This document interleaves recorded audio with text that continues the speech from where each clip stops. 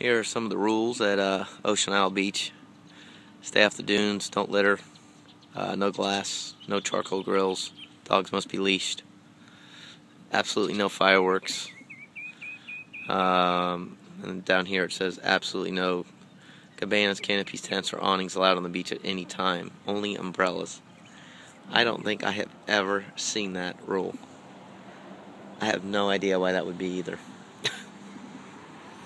Uh, most people these days use pop-up tents to uh, keep the sun off of them, but you can't have them here. But here's the beach. Uh, here's the pier. Uh, a lot of people fish at this pier. Um, you can kind of see why this beach is so popular.